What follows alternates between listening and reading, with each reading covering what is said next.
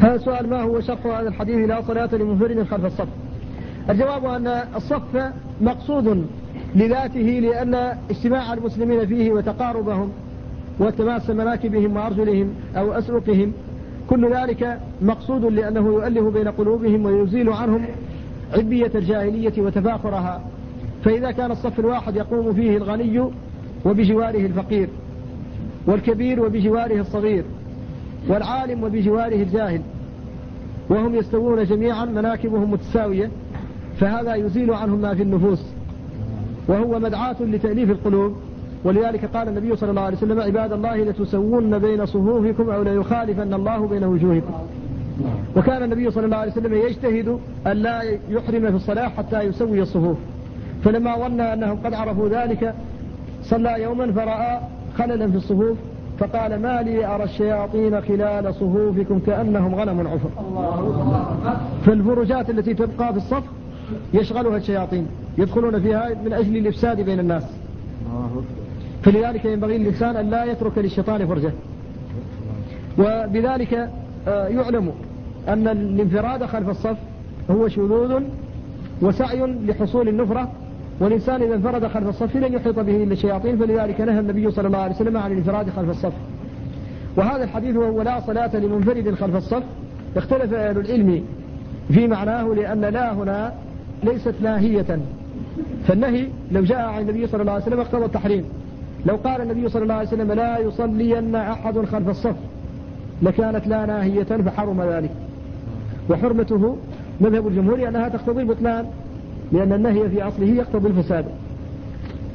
لكن لما كانت لا هنا نافية لا ناهية عرف أن المنفية فعل لأن لا دخلت على حقيقة شرعية. والحقائق لا تتعلق بها الأحكام. الحقائق لا تتعلق بها الأحكام فإنما تتعلق الأحكام بالأفعال. فهنا أمر محذوف لا يستقيم الكلام دونه. هذا المحذوف هو الذي يسمى بالمقتضى لدى الأصوليين. ودلالته لا تعم فدلالة الاقتضاء المقتضى لا عموم له. المقتضى فيها لا عموم له. المقتضى هو المحذوف الذي لا يستقيم الكلام دونه لا عموم له. فلذلك يمكن أن يحمل على وجه من الوجوه. هذا الوجه مثلا يمكن أن تقول لا صلاة معناه لا تمام صلاة للمنفرد خلف الصف. ويمكن أن يكون المعنى لا صحة صلاة لمنفرد خلف الصف. كل ذلك محتمل. وإذا تعدد الاحتمال مثل هذا النوع يؤخذ فيه بالاحتياط فيقال لا تمام صلاة أي أن الصلاة صلاة المنفرد خلف الصف غير تامة قطعا. ومن هنا إذا جاء الإنسان فوجد الصف ملتئما فالاحتياط أن لا يصلي وحده خلف الصف. بل إذا وجد فرصة في الصف فبها ونعمته ينبغي لأهل الصف أن يلينوا في أيدي إخوانهم كما كان النبي صلى الله عليه وسلم يقول لينوا في أيدي إخوانكم. وهذا من التعاون على البر والتقوى. وإذا لم يجد فرصة في الصف يمكن أن يصف مع الإمام عن يمينه أو عن شماله. واليمين أفضل ولكن يجوز أن يصف عن شماله أيضا. وإذا صف معه آخر فليكن في الجهة التي صف منها ذلك الأول لأنه لا ينبغي أن يصف اثنان مع الإمام أحدهما عن يمينه والآخر عن شماله لأن هذا يجعل الإمام في داخل الصف. والإمام لا بد أن يتميز عن المأمومين. فلذلك ينبغي أن يكون الصف عن يمينه فقط أو عن شماله فقط. وقال طائفة من أهل العلم بل يكون خلف الصف ويجذب من هو في الصف. وهذا الجذب يترتب عليه أمران. الأمر الأول أنه إذا كان في هيئة بناء الصف يكون خلف الإمام. فأول كل صف ينبغي أن يكون من قبالة ظهر الإمام. والذي يقابل ظهر الإمام عادة هم أهل ثقة الذين يوكل إليهم شأن الصلاة. لما أخرج مسلم في الصحيح أن النبي صلى الله عليه وسلم قال ليلني منكم أولو الأحلام والنهى ثم الذين يلونهم ثم الذين يلونهم. وهذا يقتضي أن يختار أولئك لظهر الإمام لمقابل ظهر الإمام.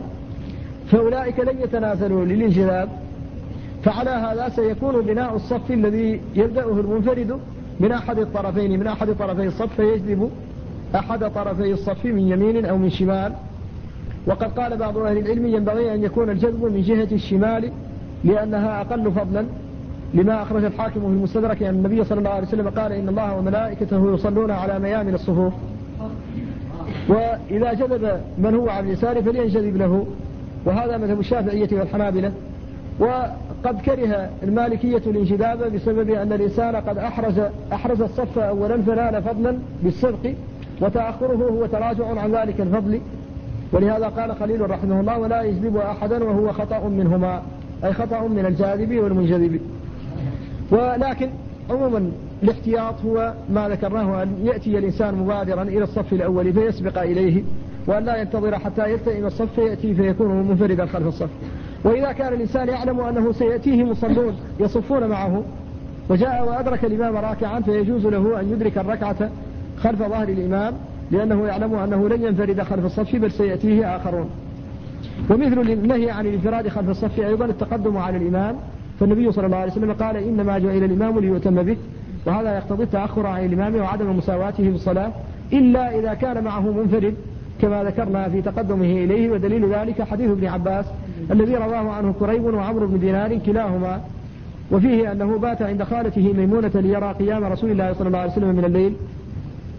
فلما كان نصف الليل قام رسول الله صلى الله عليه وسلم فمسح النوم عن وجهه بيديه وشاص فاه أي استاك وقام إلى شن معلق فتوضأ منه وضوءا يقلله عمرو ويخففه. عمرو بن دينار يقلله ويخففه يقلله في الكم ويخففه في الكيف. ثم قرأ خواتيم سورة آل عمران وقال إن الغلي منام إن الغلي منام الغلي تصغير الغلام وهو ابن عباس. قال فقمت ففعلت مثل ما فعل فأحرمت آه وفي رواية عن يساره وفي رواية خلفه. قال فأخذ بمنكبي أو بأذني فجذبني وفي رواية أنه جذبه ليساويه عن يمينه. قال ابن عباس فتأخرت. فلما سلم قال ما لك؟ أقدمك فتتأخر. فقال ما كنت لأساويك قال فضمني. قال فأخذني فضمني. فدعا لي. فذلك إقرار من النبي صلى الله عليه وسلم بالاستحسان لتأخر المأموم قليلا عن الإمام.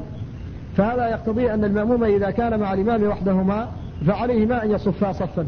لكن هذا الصف ليس كهيئة الصف المعتادة ومن هنا فسيكون عن يمينه. لكن ينبغي أن يتأخر عنه يسيرا كما فعل ابن عباس. يكون مقابل منكبه متأخرا عنه قليلا من الجهة اليمنى. أما تقدم المأموم على الإمام فلا ينبغي ذلك إلا في حال الضرورة. وعند الحنابلة أنه إذا تقدم عنه بقدر رجله فإن صلاته تبطل.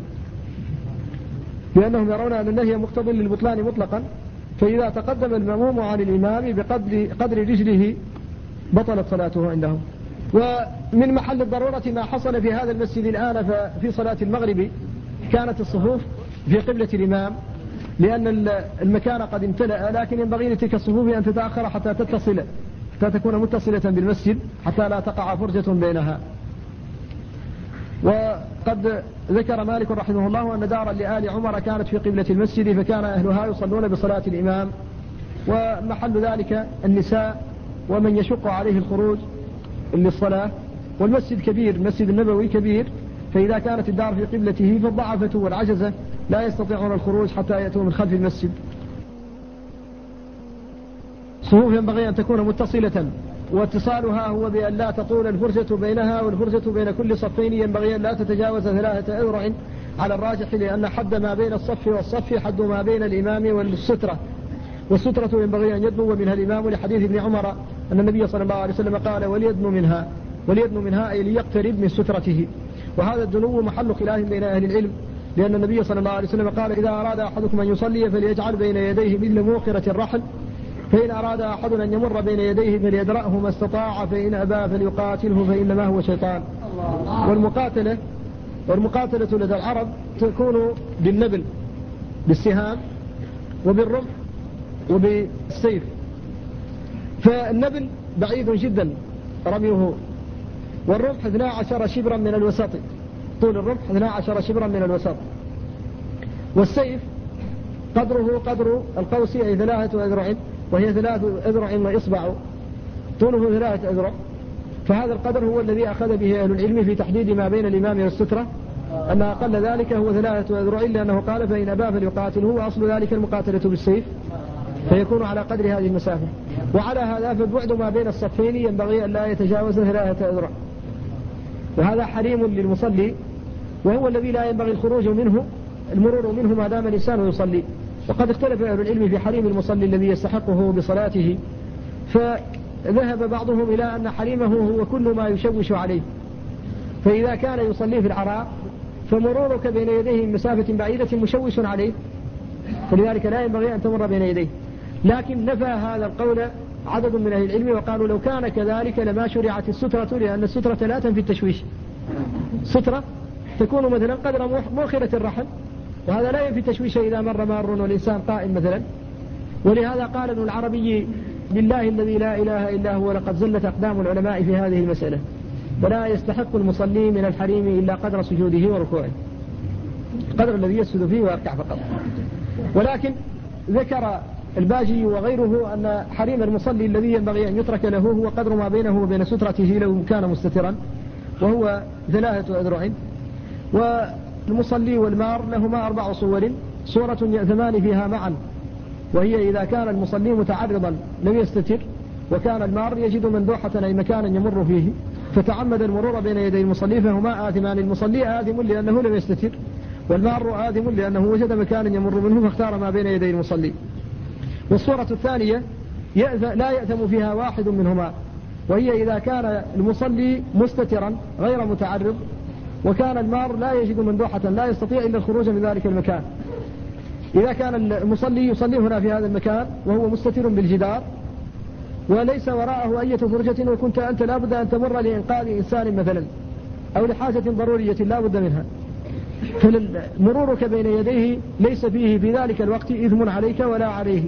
فهو قد فعل ما أمر به من الاستتار وأنت مضطر للخروج والإثم مرفوع عن المضطر لقول الله تعالى وقد فصل لكم ما حرم عليكم إلا ما اضطررتم إليه. الصورة الثالثة يأثم فيها المصلي فقط دون المار وهي إذا كان المصلي متعرضا غير مستتر وكان المار يجد طريقا يسلك منه غير الذي بين يدي المصلي فاختار الذي بين يدي المصلي فالمار آثم والمصلي غير آثم وهذا الذي جاء فيه فلا أن ينتظر أربعين خير له. لا أن ينتظر أربعين خير له. لو يعلم المار بين يدي المصلي ماذا عليه لكان أن ينتظر أربعين خير له. أربعين يمكن أن تكون أربعين يوما أو أربعين سنة أو أربعين. المهم مبالغة في العدد. كذلك الصورة الرابعة يأذم فيها المصلي ولا يأذم فيها المار. إذا كان المصلي متعرضا لم يتخذ سترة وكان المار لا يجد طريقا إلا التي بين يدي المصلي وهو مضطر للعبور فيأذم المصلي ولا يأذم المار.